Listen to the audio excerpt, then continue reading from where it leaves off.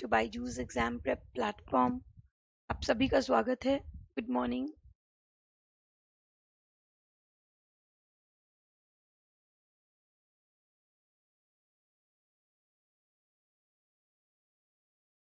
me check with the audio and all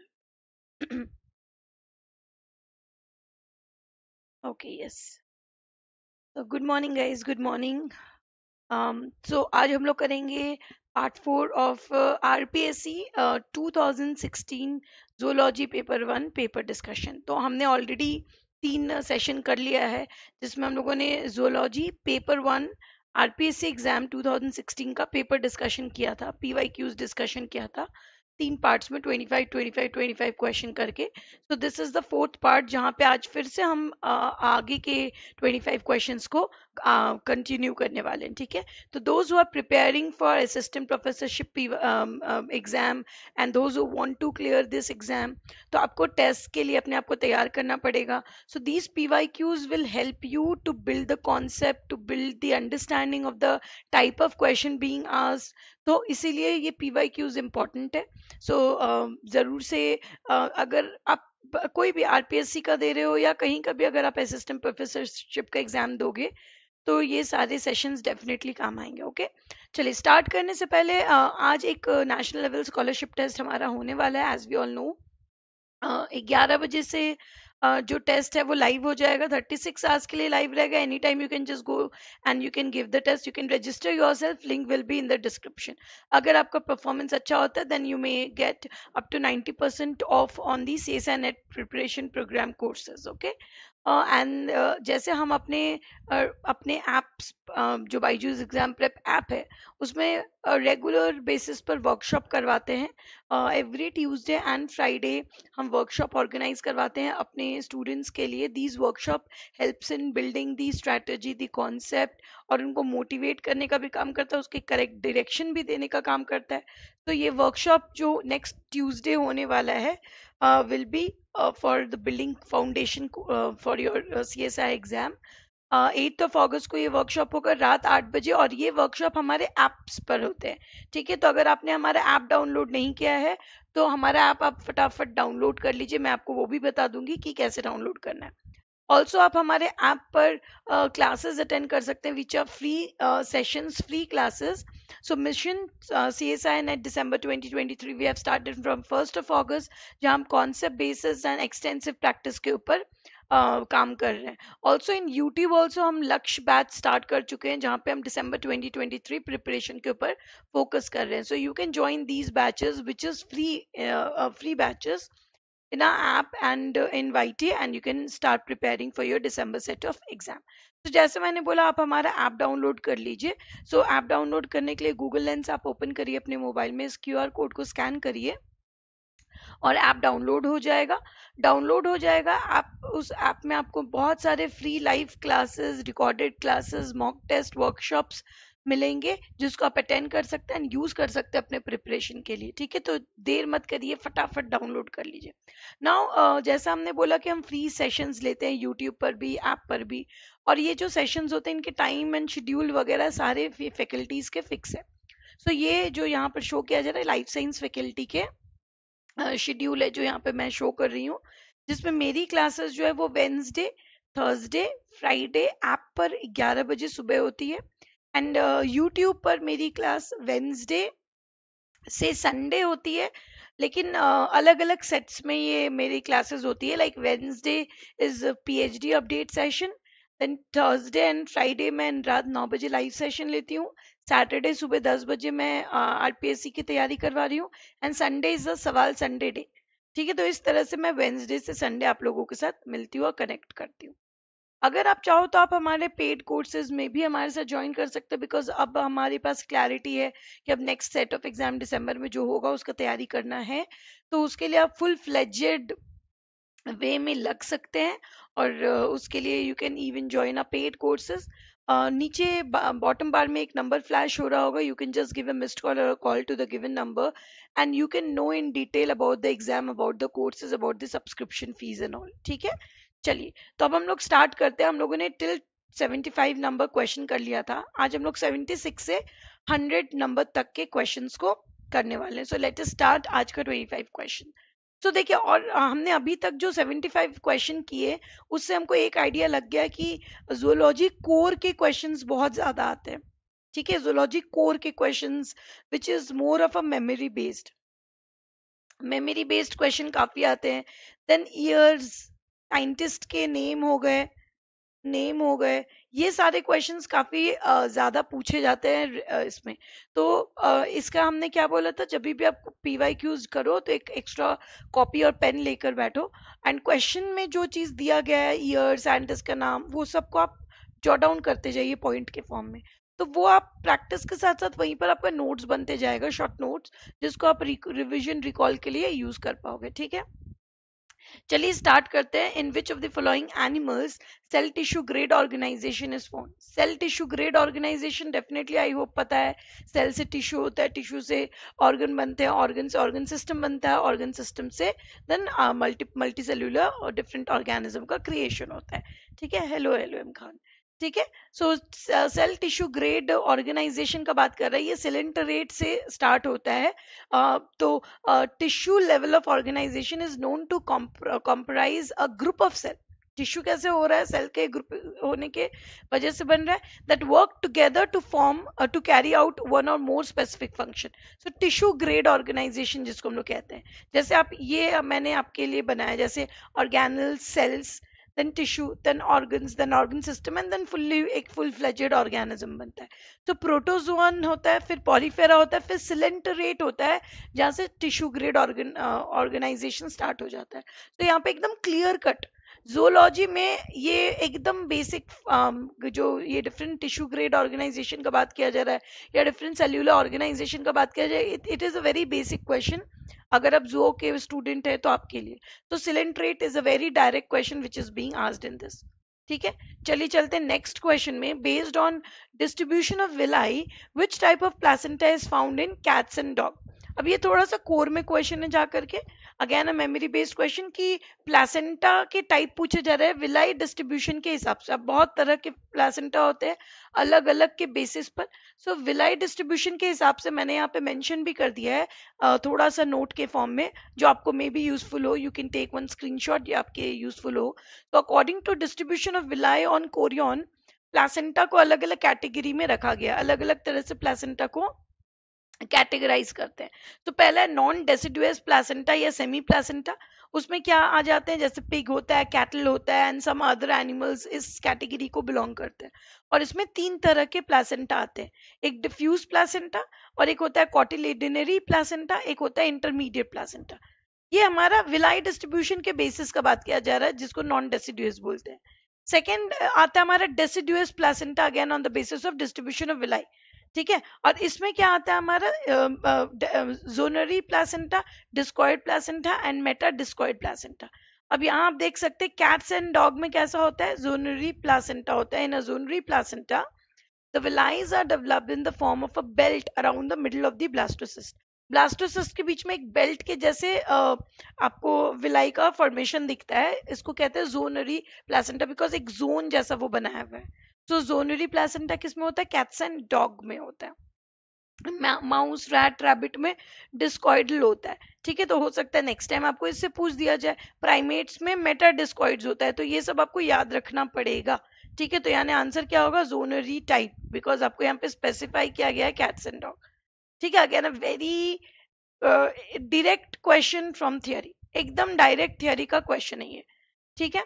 चलिए next question is which of these is a state bird of Rajasthan और ये बात भी हमेशा मैंने बताया आपको कि आप जिस भी स्टेट के लिए एग्ज़ाम दे रहे हो स्टेट के फ्लोरा फाउना के बारे में आपको पता होना चाहिए।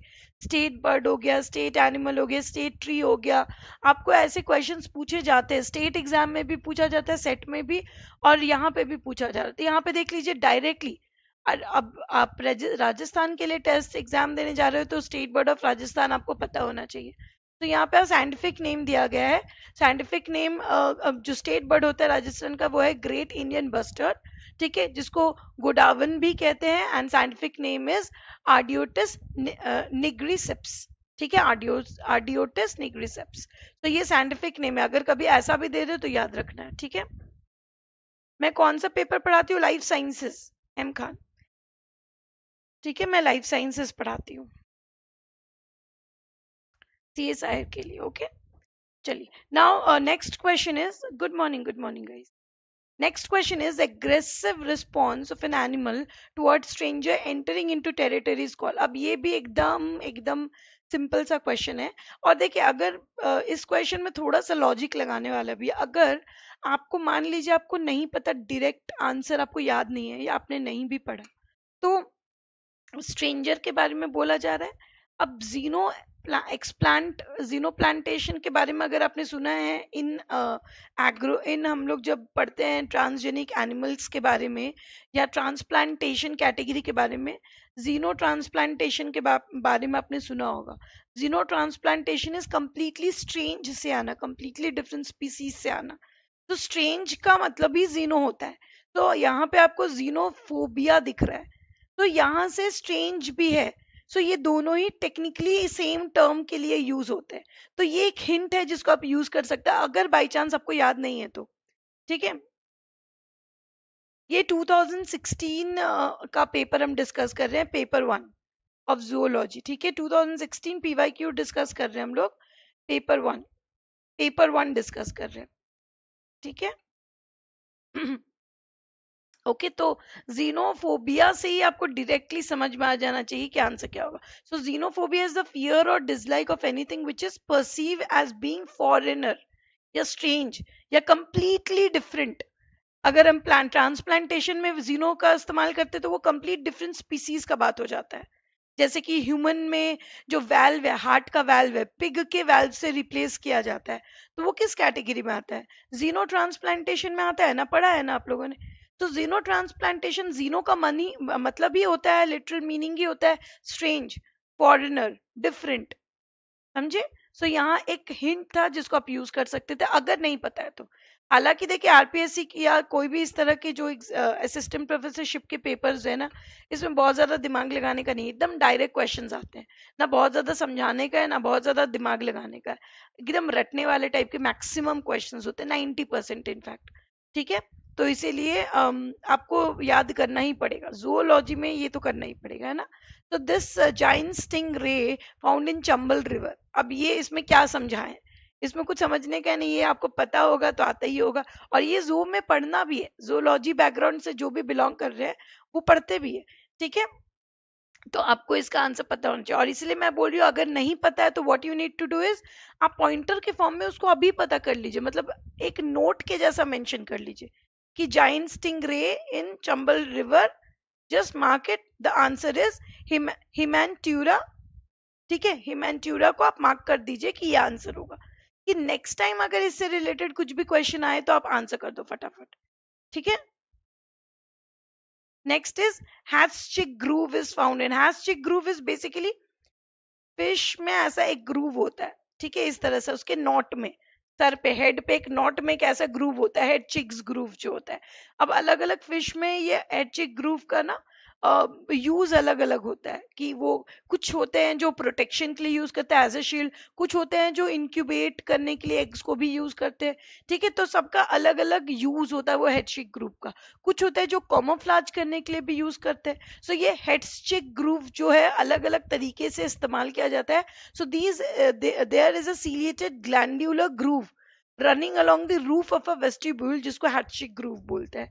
ठीक है? सो एम्फियोक्सिस में ये हैटशिक ग्रूव पाया जाता है एम्फियोक्सिस में। Next is this sanctuary is known for conservation of black bucks black bucks के कंजर्वेशन के लिए सेंचुरी को माना जाता है, जाना जाता है तल चप्पड़ ठीक है? ये बहुत ही फ़ेमस सेंचुरी अभी इससे रिलेटेड इन्वायरमेंटल साइंस में आपने अगर सुना होगा, पढ़ा होगा तो इससे रिलेटेड बहुत सारी बातें हो रही थी कि वहाँ पे पोल्यूशन के वजह से बहुत प्रॉब्लम क्रिएट हो रहा है उस सेंचुरी में। तो गवर्नमेंट रूल आया है वहाँ को लेकर के। तो ये अभी थोड़ा फ़ेमस भी हुआ था न्यूज़ में आया था ये अभी। तो अगर आप न्यूज़ भी देखते हैं तो आप इसको तुरंत आंसर कर सकते हो। ठीक है ब्लैक बर्ग्स जो है, कहाँ से रिलेटेड है? ठीक है? तो ये भी नॉर्थ वेस्ट राजस्थान का है। तो देखिए, मैंने बार बार बोला आप जिस भी स्टेट का एग्ज़ाम दे रहे हैं, उस स्टेट का फ्लोरा फाउना के बारे में आपको पता होना चाहिए। अगर आपको नहीं पता है तो आप उस स्टेट के ऑफिशियल वेबसाइट में जाओगे ना गूगल में तो वहाँ से आपको सब कुछ मिल जाएगा। You can download a full detail information उतने डिटेल में आपको जाना नहीं है, पर आपको पूरा डिटेल इन्फॉर्मेशन उनके ऑफिशियल वेबसाइट पे मिल जाएगा। जिसको आप डाउनलोड कर सकते हो, उसमें सारा उनका फ्लोरा फाउना क्या स्पेशल फीचर्स है, वो सब आपको वहाँ पे मिल जाएगा। तो you can just go through that PDF और उससे आप इंपॉर्टेंट चीज़ों को एक्सट्रैक्ट कर सकते हो, जो एग्ज़ाम में मे भी आ सकता है। ठीक है? Now, hirudinaria, the number of testis sac are कितना testis sacs present होता है so 11 pairs of testis sac present होता है आपने अगर ये भी डाइसेक्शन भी किया होगा जुओ के स्टूडेंट है तो तो आपको ये पता होगा सिंपल क्वेश्चन था ये Now, how many rows of dorsal language occur in uh, अब अगेन एकदम बेसिक जोलॉजी का रटने वाला क्वेश्चन पूछा जा रहा है। कितने rows rows of dorsal language होते हैं? सिर्फ़ एक होता है ठीक है? और एक ही रो होता है लेकिन एक रो में 20 से 30 टेंटिकल्स प्रेजेंट होते हैं। अब इसमें कंफ्यूजन मत तो करिएगा। एक ही रो है रो पूछा जा रहा है। उसमें 20 से 30 टेंटिकल आउटग्रोथ दिखते हैं बट वो है एक ही। ठीक है वो लैंग्वेज जो है वो एक ही है लेकिन उसमें 20 से 30 टेंटिकल्स आपको देखने को मिलते हैं ठीक है? नाउ व्हाट इज़ नीमोटैक्सिस ठीक है नीमोटैक्सिस क्या होता है? अब नीमोटैक्सिस तो, तो प्लांट से भी आप रिलेट कर सकते हैं। ठीक है? नीमोटैक्सिस का मतलब क्या होता है? हम लोग जब भी मेमोरी का बात करते हैं नीमोटैक्सिस में ठीक है? So it is formation of orientation movement of memory कि अभी यहाँ है तो अभी वहाँ जाएँगे। तो जैसे प्लांट में स्टडी uh, किया गया जो वीनस फ्लाई ट्रैप प्लांट अगर आपने नाम सुना है जो इंसेक्ट्स uh, uh, को खाते हैं प्लांट उनमें क्या होता है वो उनका मेमोरी होता है कि उन्हें पता है मॉर्निंग में किस साइड से इंसेक्ट्स के आने का टेंडेंसी ज़्यादा होता है इवनिंग में किस साइड से ज़्यादा होता है एंड बेस्ड ऑन दैट वो मूवमेंट कर सकते हैं। सो so, कुछ ऐसे प्लान भी होते हैं। So this is basically orientation based on memory ठीक है? मेमोरी ओरिएंटेशन के बेसिस पर कि हम किधर हैं। अपने आप को अपने आप को बेसिकली लोकेट करना कि आप कहाँ खड़े हो आप किस पोजीशन पे हो।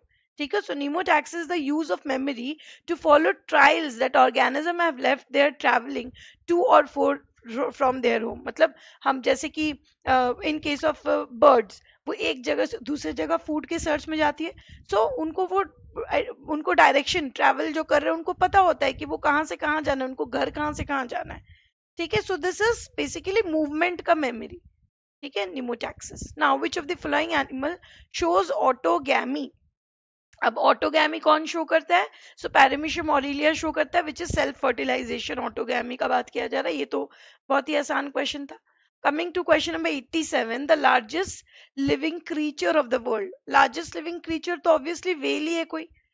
ब्लू वेल आपने पढ़ा ही होगा जो है। सो so, यहाँ पर मस्क्यूलर मस्क्यूलस जो है, वो सबसे लार्जेस्ट होते हैं living creature in the world ठीक है? बैलेंटिनो टेरा मस्क्यूलस ठीक है? द मेन ऑर्गन आप ये सब अगर याद नहीं है तो इसको पॉइंट के फॉर्म में लिखिए। इसीलिए मैं बार बार बोल रही हूँ कि ये कोर मेमोरी है। डेफिनेटली भूलने का बहुत हाई चांस है। तो उसको आपको लिखना पड़ेगा। लिख लो उसको तो अच्छा रहेगा। ठीक है? Now the main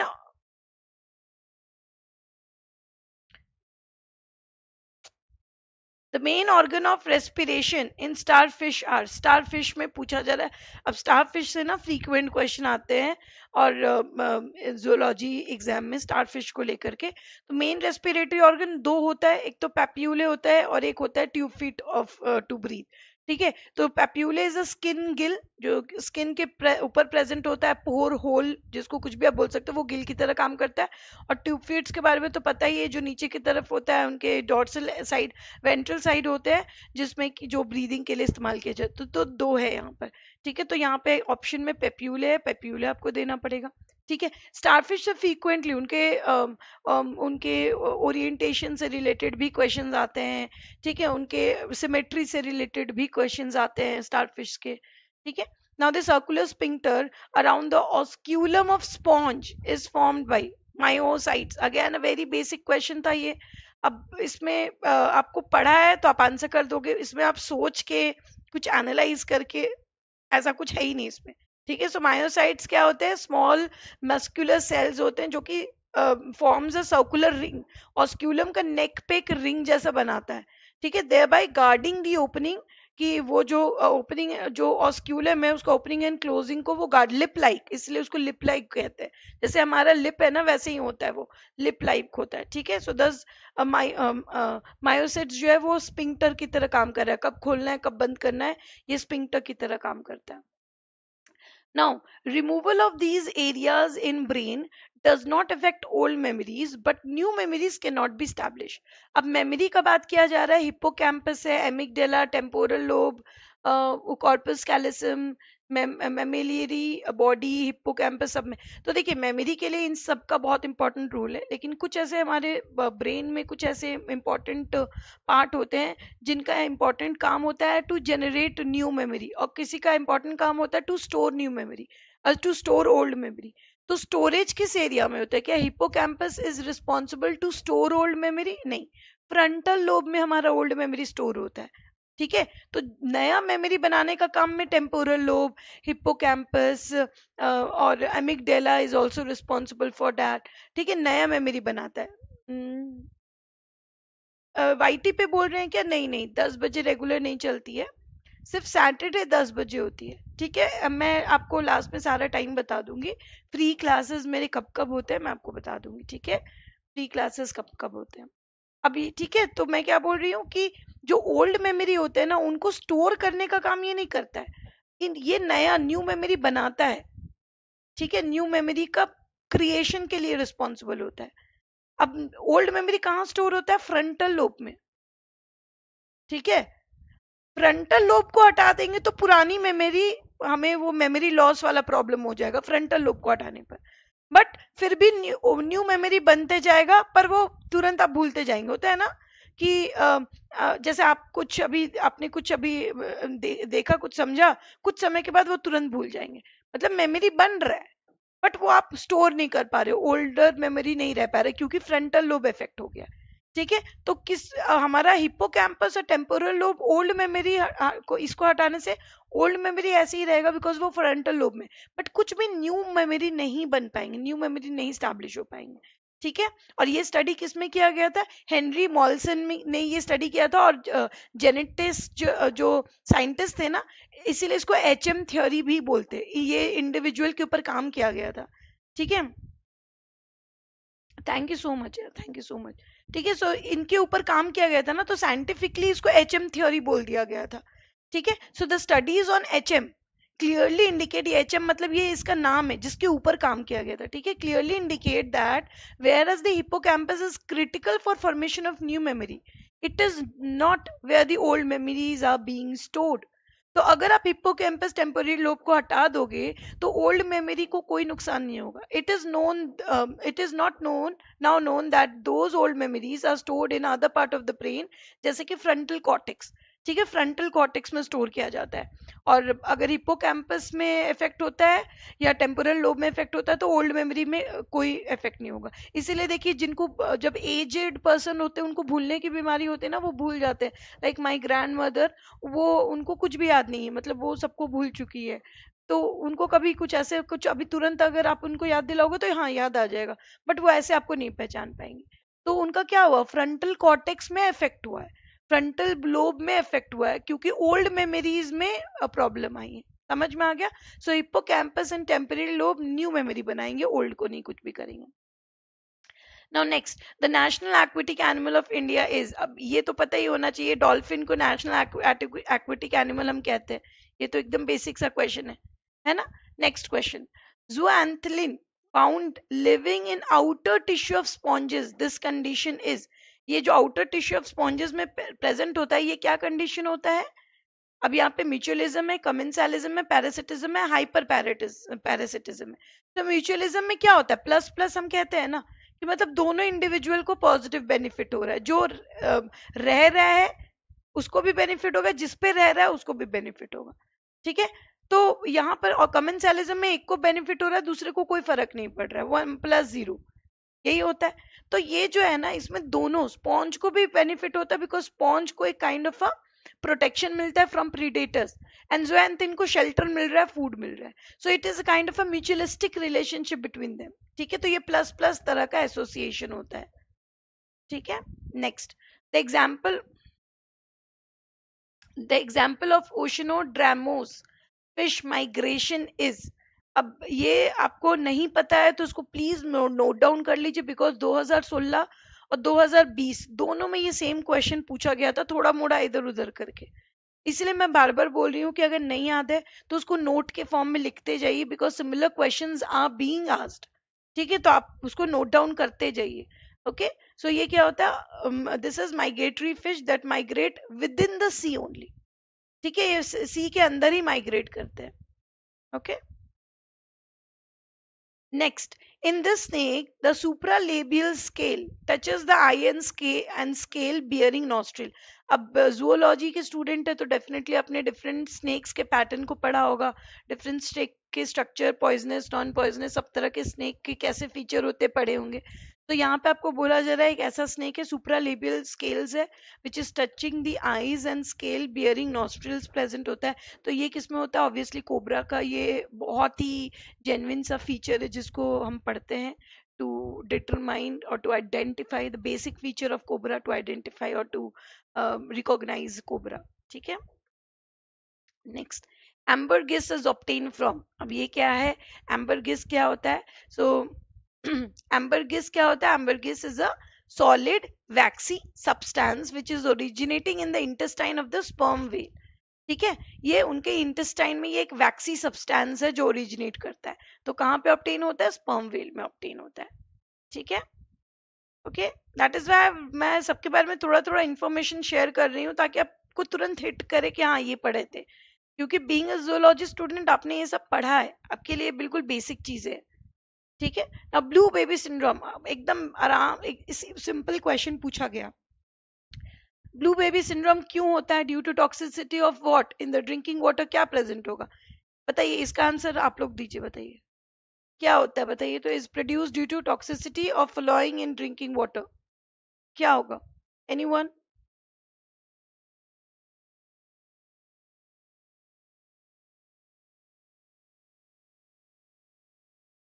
blue baby syndrome. क्या मीथेन की वजह से होता है? कार्बन डाइऑक्साइड अमोनिया नाइट्रेट किस कारण होता है? नाइट्रेट की वजह से होता है। बहुत सिंपल क्वेश्चन। ठीक है ब्लू बेबी सिंड्रोम जो है नाइट्रेट रिस्पॉन्सिबल होता है। तो the most common cause of this syndrome is water contaminated with nitrate. When a baby drinks formula made up of this nitrate rich water, formula milk अगर कोई baby P रहा है जो उसमें पानी जो डाला जाता है, उस पानी में अगर नाइट्रेट रिच हुआ तो क्या हो जाएगा? The body converts the nitrate into nitrite ठीक है? So these nitrite bind to the haemoglobin in the body क्योंकि बॉडी में हीमोग्लोबिन है, और मीथो मीथो हीमोग्लोबिन बना देगा which is unable to carry oxygen so blue baby का जो कलर है, वो ब्लूइश होने लग जाता है। ब्लू बेबी सिंड्रोम उसी से नाम पड़ा है। ओके नाउ एक डेफिनेशन पूछा गया है, एकदम सिंपल क्लैडिस्टिक्स का डेफिनेशन क्या होता है? क्लैडिस्टिक्स आप लोग क्लासिफिकेशन में पढ़ते हैं what is this cladistics this is a system of classification based on phylogenetic relationship and evolutionary history so उसके बेसिस पर हम क्लैडिस्टिक कहते हैं। तो डायरेक्ट यहाँ पे आपको एक फॉर्मूला एक डेफिनेशन दिख रहा है system of classification based on phylogenetic relationship and evolutionary history of organism rather than purely on shared feature. Evolutionary history and phylogenetic relationship के बेसिस पर क्लासिफिकेशन जब करते हैं, वो क्लैडिस्टिक कहलाता है। तो यहाँ पे हम उनके फीचर कितने सिमिलर है फीचर कितने डिफरेंट है, उसके बेसिस पर क्लासिफिकेशन नहीं करते हैं। Evolutionary history and phylogenetic tree के बेसिस पर जब करते हैं तो। ठीक है? Now coming to question number 98 अब जैसे अभी जस्ट हमने बोला सिमेट्री का क्वेश्चन पूछा जाता है। पूछा क्या जा रहा है पे? एक कौन सा एनिमल इनमें से ट्रांसफॉर्म करता है? जो बायोलेट्रल सिमेट्री से रेडियल अपने लाइफ साइकिल में जो बायोलैटरल सिमेट्री से रेडियल सिमेट्री में ट्रांसफ़र कर जाता है। बायोलैटरल सिमेट्री मतलब ऐसा कुछ हो जाएगा। ये तो रेडियल सिमेट्री हो गया। बायोलैटरल सिमेट्री मतलब कुछ ऐसा सपोज़ सपोज़ एक ऐसा स्ट्रक्चर मैंने बनाया। तो जब आप बी से डिवाइड करोगे तो ये सेम हो जाएगा। तो ये बायोलैटरल ये रेडियल हो गया तो इनमें से ऐसा कौन सा एनिमल है जो बायोलैटरल से रेडियल में कन्वर्ट हो जाता है थ्रू आउट अपने लाइफ साइकिल के तौर स्टारफिश अपने अगर अगर पढ़ा है तो स्टारफिश का कैसा होता है लाइफ साइकिल एग है देन लार्वा फॉर्म होता है। तो लार्वा कैसा है? बाइलैटरल है। देखिए, बीच से मैं इसको डिवाइड करती हूँ। अब देखिए, बीच से इसको मैं ये कर रही हूँ। तो ये बाइलैटरल सिमेट्री हो गया। बायलैटरल सिमेट्री से लार्वा यंग आया एडल्ट बनाया और ये कैसा बन गया हमारा? हमारा रेडियल सिमेट्री में कन्वर्ट हो गया। तो आंसर क्या हो जाएगा? स्टार फ़िश बहुत सिंपल क्वेश्चन था ये। Now question number 99. Which of these animal lamelliform gills are present ठीक है, lamelliform मतलब which इज़ plate या lamina plate लाइक या lamina. स्कॉलियोडॉन फ़िश में होता है। अब, अगर मैं फ़ोटो तो मैंने नहीं डाला यहाँ पर बट पूरा ऐसा प्लेट जैसा होता है इनका, जो ये है। गिल्स जो है ना, ऐसा प्लेट जैसा बना होता है।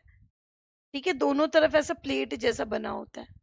ठीक है? तो ये जो है शेप लैमिना या प्लेट लाइक जो होता है, वो किसमें प्रेजेंट होता है? स्कॉलियोडॉन में होता है। स्कॉलियोडॉन डाइसेक्शन भी आपने देखा होगा कि या नहीं भी है तो तो easily you can relate with this ठीक है, अब आते हैं हम लोग आज का last question hundred question which one of the following is not true about cyclostomata cyclostomata के लिए इनमें से कौन सा पॉइंट ट्रू नहीं है? ठीक है नॉट ट्रू बोला जा रहा है। तो नॉट ट्रू में क्या होगा? सबसे पहले तो मुझे यहाँ पे एक पॉइंट पहले ही दिख गया they have pronephron kidney pronephron kidney नहीं होता है। तो आंसर तो फोर होना चाहिए बाकी देखते हैं। हार्ट थ्री चैम्बर्ड है blood is red in colour because of haemoglobin not true पूछा जा रहा है तो ये ट्रू है मतलब ये आंसर नहीं होगा। सिंगल मीडियन ऑल्फैक्ट्री सैक होता है and single median nostril present होता है, बिल्कुल सही बात है। And this class is also called as marsipobranchii is also correct so that means answer हमारा फोर होगा। बिकॉज़ किडनी कैसा होता है इनका? मीजोनेफ्रिक किडनी होता है। प्रोनेफ्रोज किडनी नहीं होता है। ठीक है? So they have got mesonephric kidney ठीक है तो आंसर क्या हो जाएगा? फोर हो जाएगा। यहाँ नॉट ट्रू पूछा गया बाबू, ठीक है? ध्यान रखिएगा। तो बाकी तीनों तो एकदम क्लियर कट साइक्लोस्टोमाटा के जो हम फीचर्स पढ़ते हैं, उसमें आता है। सिर्फ़ ये प्रोनेफ्रॉन देखकर आपको आंसर निकालना था, ठीक है? So this was it for today session guys हमने सो हंड्रेड क्वेश्चन कर लिया है। नेक्स्ट सेशन में फिर से हम हंड्रेड एंड वन से लेकर के hundred and twenty five question करेंगे एंड उसके बाद फिफ्टी तक कर लेंगे। सो वन फिफ्टी क्वेश्चन हमारा पार्ट वन का खत्म हो जाएगा जोलॉजी पेपर वन का। फिर हम लोग जोलॉजी पेपर टू स्टार्ट करेंगे और उसके क्वेश्चन को डिस्कस करेंगे। तो these questions will help you not only in your Rajasthan P S C exam but आप एम पी सेट जब दोगे वहाँ पे भी काम करेगा या दूसरे कहीं के भी आप दोगे ना, सिम जोलॉजी के अगर आप एग्ज़ाम में बैठ रहे हो तो वहाँ पे आपको ये यूजफुल होगा, ठीक है? तो अगर सेशन अच्छा लगा तो do subscribe to our channel नहीं किया है तो और hit the bell icon to get the notification so that जब भी हम लाइव आएँगे आपके पास नोटिफिकेशन आ जाएगा। एंड सेशन अच्छा लगा तो लाइक कर दीजिए and to stay updated about exam and about our classes आपको इन्फॉर्मेशन चाहिए तो आप हमारे टेलीग्राम एंड व्हाट्सएप ग्रुप के साथ भी कनेक्टेड हो सकते हैं, जिसका लिंक आपको डिस्क्रिप्शन में मिल जाएगा एंड वहाँ पे आपको exam update classes update and quizzes वगैरह सब होते हैं तो आप हमारे साथ जुड़ सकते हैं। तो अब मेरा नेक्स्ट क्लास आज है जो कि शाम पाँच बजे होगा, हमारे ऐप पर होगा ये क्लास ठीक है? और आज क्विज है जो मैं क्विज लेने वाली हूँ, वो क्विज है आज शाम पाँच बजे। तो आज शाम पाँच बजे आप ऐप पे मेरे साथ जुड़ सकते हो इस क्विज के लिए। उसके लिए आपको ऐप डाउनलोड करेगा, करना पड़ेगा, मैं बताती हूँ कैसे करना है। ऑल्सो हमारे ऐप पे मिशन सी एस है दिसंबर 23 हम चला रहे हैं तो आप वहाँ पे भी हमारे साथ जुड़ सकते हैं for your preparation these are free sessions Lakshya batch जो हम यूट्यूब पे चला रहे हैं so these are free sessions जिसको आप यूज़ कर सकते हैं। तो अगर अभी तक आपने हमारा ऐप डाउनलोड नहीं किया है तो आप गूगल लेंस ओपन करिए अपने मोबाइल में, इस QR कोड को स्कैन कर लीजिए और आप हमारा ऐप डाउनलोड कर लेंगे। जैसे ही आप ऐप डाउनलोड करेंगे, आपको हमारे लाइव क्लासेस जो फ्री लाइव क्लासेस है रिकॉर्डेड फ्री रिकॉर्डेड क्लासेस है मॉक टेस्ट है वर्कशॉप से आप सबको अटेंड कर पाओगे और आपको एक बेटर एक्सपीरियंस ऑफ़ क्लास मिलेगा। ठीक है? And if you also want to join a paid courses तो आप हमारे पेड कोर्सेज में भी हमारे साथ कनेक्ट हो सकते हैं। हम अपने पेड पेड स्टूडेंट को एक अच्छे लाइव क्लासेस का एक्सपीरियंस देते हैं with high quality recorded video comprehensive and crisp material quizzes on daily basis PYQs discussion complete doubt resolution within 24 hours test series mind maps हम ये सब अपने पेड स्टूडेंट को प्रोवाइड करते हैं। So if you are really interested to join the paid courses you can just call to this given number और give a missed call bottom bar में भी आपको नंबर रिफ्लेक्ट हो रहा होगा। उसको करने पर आपको सारी जानकारियाँ, जो भी आपको चाहिए, आप one on one counselling book कर लेंगे और आपको जो भी जानकारी चाहिए एग्ज़ाम के बारे में कोर्स के बारे में फ़ीस स्ट्रक्चर के बारे में, आपको जस्ट एक फ़ोन कॉल पे सारे इन्फॉर्मेशन दे दिए जाएँगे। ठीक है? तो आप हमारे साथ कनेक्टेड हो सकते हैं। होपफुली आपको ये सेशन अच्छा लगा होगा। अगर अच्छा लगा तो do like and stay connected हम लोग जल्दी नेक्स्ट वीडियो के साथ।